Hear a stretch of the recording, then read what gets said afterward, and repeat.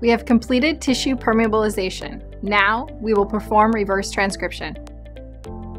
Place a thermocycler adapter in the thermocycler.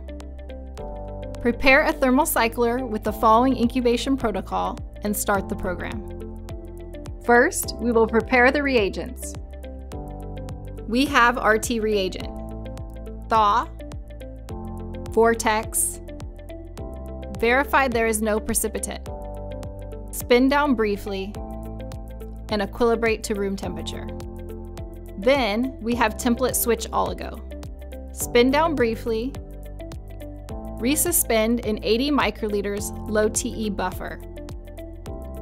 Vortex for 15 seconds at maximum speed.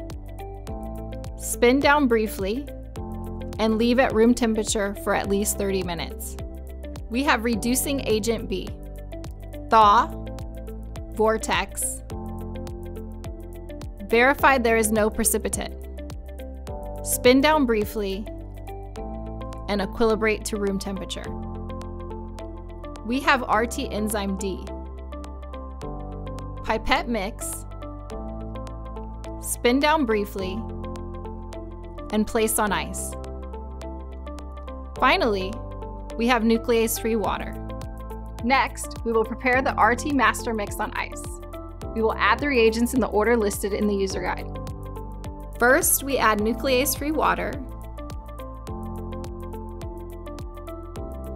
then RT reagent, then template switch oligo,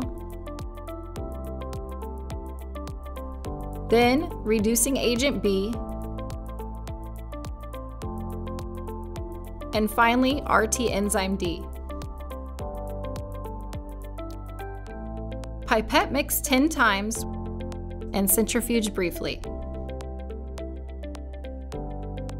Remove 0.1x SSC buffer from each well.